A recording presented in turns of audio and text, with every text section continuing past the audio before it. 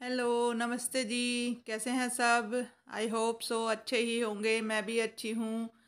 और बताइए, क्या कर रहे हैं? आज मैं फ्रिज की करने वाली हूँ डीप क्लीनिंग बिल्कुल डीपली इसका सारा सामान बाहर निकाल के और फिर वापस लगाऊँगी पूरा क्लीन करने के बाद। और टाइटल देख के आप समझ ही गए होंगे कि फ्रिज का तो सत्यानाश कर देगी। इस तरह पाइप से पानी डाल के धोएगी तो। तो ऐसा नहीं है। अगर आप इस तरह करना चाहें तो कर सकते हैं, लेकिन फ्रिज का तार हटा दें और अगर आपने फ्रिज को पानी से अच्छे से वॉश किया है तो आप इसको चार से पाँच घंटे तक बंद रखें, वायर ना लगाएँ। तो उससे क्या होता है, ये सूख जाता है और इसमें कुछ प्रॉब्लम नहीं होती। ठीक है? क्योंकि मैं हमेशा इसी तरह क्लीन कर रही हूँ। बहुत साल हो गए इस तरह करते हुए। ये फ्रिज में जो भी सामान होता है, इसकी ये ट्रे वगैरह सब निकल जाती हैं इजीली देखो, कितना गंदा हो जाता है। हम कितना भी साफ़ कर लें, देखो, ट्रे के नीचे वाली साइड में ना ये थोड़ा थोड़ा ये मैंने लिया है बेकिंग सोडा और थोड़ा सा विनेगर इससे क्या है, जो जिद्दी दाग होते हैं ना, वो भी हट जाते हैं। कई बार फ्रिज में कुछ चिपक जाता है, वो हटता नहीं। तो ये दोनों मैंने मिक्स करके इस बर्तन में रख लिए हैं। और ये एक स्पंज लिया है इससे, हल्के हाथ से। मैं इसे फ्रिज में सारे में अप्लाई कर दूँगी। अभी केवल ये विनेगर और सोडा ही है, खाने का सोडा जो होता है। तो फ्रिज में मैं जहाँ जहाँ थोड़े थोड़े दाग हो रखे थे, अधिकतर ये किनारों पे ही हैं, ट्रे के किनारों पे, जहाँ पे मतलब डेली नहीं हो पाती है क्लीनिंग तो सारे में मैं इसको अप्लाई कर दूँगी अच्छे से। अप्लाई करने के बाद मैं इसको बंद करके छोड़ दूँगी। तो उससे क्या है, जो मैल है वो फूल जाएगा। तब तक मैं जो है फ्रिज के सारे ट्रे वगैरह हैं इनकी, इन सबको धो लूँगी। इसके लिए मैं बकेट में पानी डाल रही हूँ और इसमें वॉशिंग पाउडर डाल लूँगी। कुछ मैंने एक्स्ट्रा नहीं डाला है और अच्छे से इसको करके मिक्स करके सारी ट्रे आराम से धो दूँगी।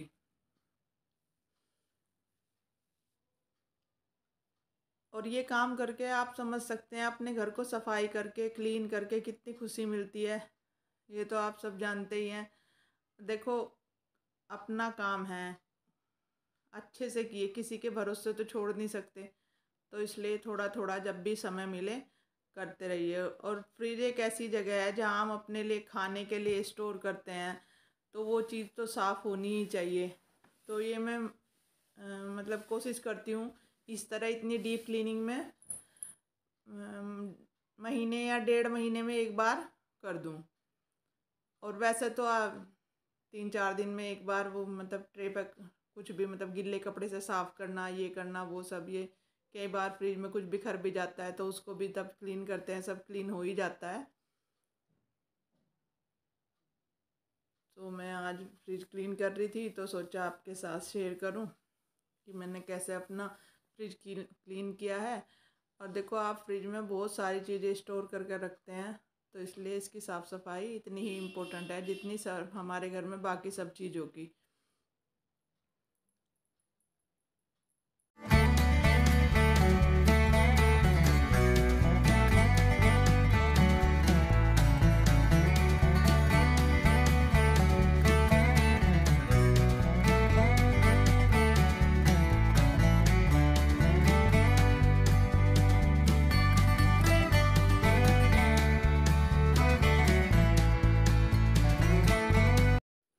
अब हम जूने पे ले लेंगे थोड़ा सा लिक्विड सरप और इसमें फ्रिज में लगाते हुए थोड़ा सा इसको रगड़ देंगे। जो हमने बेकिंग सोडा और विनेगर का घोल लगाया, उससे सब मैल फूल गया है, लेकिन हमें एक बार हल्का सा रफ करना है इसको, ताकि कहीं कुछ चिपक रहा हो तो वो हट जाए। तो बस ऐसे ही करते हुए हम इसको पूरा क्लीन कर लेंगे और फिर हम इसे अच्छे से वॉश करेंगे। मैंने सारे वो ट्रे वगैरह धो के सुखा दिए हैं, तब तक ये वो सूख जाएँगे। तो देखो, मैंने अच्छे से पाइप लगा के पानी से और इसको अच्छे से क्लीन क्योंकि कपड़े से हम पोछते हैं गिल्ले से पोछ तो देते हैं लेकिन उतना क्लियर सा नहीं हो पाता। और धुलने से बिल्कुल सारी इसकी गंदगी जितनी भी थी सब क्लीन हो गई, बहुत ही एकदम वाइट वाइट सा हो गया फ्रिज। तो आप ऐसे ही क्लीन ये रबड़ के ऊपर भी डाल दें आप धूल मट्टी सब ख़त्म हो जाएगी, बहुत ही अच्छा हो जाता है फ्रिज, एकदम जैसा न्यू आया हो। तो आप अगर करना चाहें तो ऐसे कर सकते हैं, कोई प्रॉब्लम नहीं है, मैं तो हमेशा ही ऐसे करती हूँ। और भाई कुछ लोग तो देख के कहेंगे ये कि सत्यानाश कर दिया है फ्रिज का। बड़ी बनती है सफ़ाई वाली। तो जैसा आपको पसंद हो आप वैसा करें।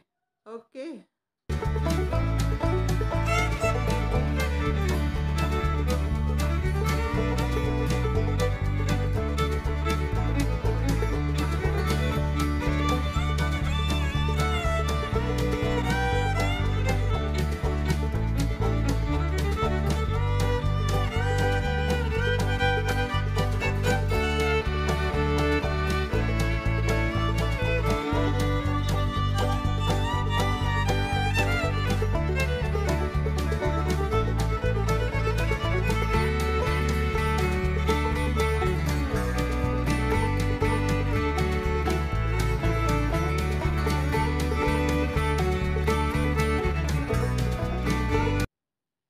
ये इसमें फ्रिज में पीछे एक बकेट होती है, इसमें पानी भर जाता है तो इसे आप चम्मच की मदद से निकाल सकते हैं सारा। ये काफ़ी, देखो, इस तरह मैंने निकाल दिया और अब मैं कपड़े से निचोड़ निचोड़ के, ये कपड़े के साथ जो इसमें गंदगी है वो भी बाहर आ जाती है। और ये जो कंप्रेसर है, इस पर पानी लगना चाहिए तो इसे मैं बिल्कुल सूखे कपड़े से साफ़ कर रही हूँ। ठीक है तो आप भी ऐसे ही सूखे कपड़े से इसे बिल्कुल साफ़ कर दें। यहाँ पानी नहीं लगा है, देखो मैंने फ्रिज को अच्छे से धोया, लेकिन पीछे पानी बिल्कुल नहीं लगा। और ये टोकरी में, इसमें बकेट में पानी है, ये भी मैंने सारा निकाल दिया है। तो आप कंप्रेसर को बचाते हुए क्लीन करें अपने फ्रिज को।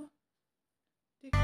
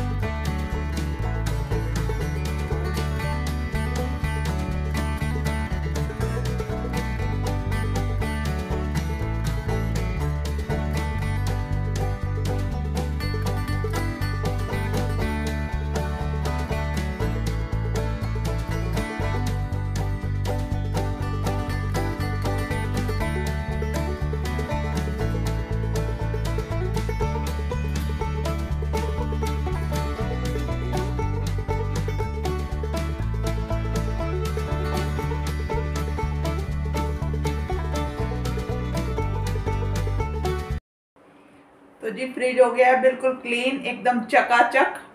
और मैं इसमें क्या क्या रखती हूँ, क्या, कैसे ऑर्गेनाइज करती हूँ अपने फ्रिज को, इसके लिए मैं आपके लिए एक अलग से वीडियो बनाऊँगी, आपको बताऊँगी कि मैं क्या रखती हूँ। वैसे तो मैं सारे मसाले वगैरह और जो भी मतलब ये मैदा होती है, सूजी होती है, और कुछ ड्राई फ्रूट दलिया वगैरह, जो ख़राब होने वाली चीज़ होती है जिस पर कीड़े लग जाते हैं, वो सब फ्रिज में ही स्टोर करके रखती हूँ। पर मैं कैसे करती हूँ, ये आपको मैं नेक्स्ट वीडियो में तो बस इतना ही। कि मैंने फ्रिज की बिल्कुल डीप क्लीनिंग की है। सारा बाहर निकाल के इसका सामान सब वापस क्लीन करके वापस लगा दिया है। मेरा काफ़ी मन, दिन से मन कर रहा था ये करने का, क्योंकि हम बाहर बाहर से साफ़ कर देते हैं। और अच्छे से जो इनके नीचे, पीछे, साइडों में थोड़ा थोड़ा कूड़ा या धूल जाती रहती है, आप कितना भी क्लीन कर लो, किनारों में नहीं आपका कपड़ा पहुँच पाता, जिससे आप अच्छे से क्लीन कर पाएँ। तो ये तो आप अब इसको तीन चार घंटे में बंद रखूँ क्योंकि मैंने पानी से इसको अच्छे से वॉश किया है और पीछे से भी मैंने सूखे कपड़े से अच्छे से साफ़ कर दिया इसको। और बस इस बात का ध्यान रखे तार हटा ले करंट न लगवा लेना। और ये जब अभी मैंने चलाया नहीं है कम से कम मैं चार घंटे इसको ऐसे ही छोड़ दूँगी कि अगर कहीं पानी हो तो वो सूख जाए क्योंकि गर्मी है चार घंटे में तो सूख ही जाएगा। उसके बाद मैं इसे ऑन करूँगी। अपना साथ चैनल पर नए हैं तो मेरे चैनल को सब्सक्राइब कर दें लाइक कर दें आपका बहुत बहुत धन्यवाद। नमस्ते बाय बाय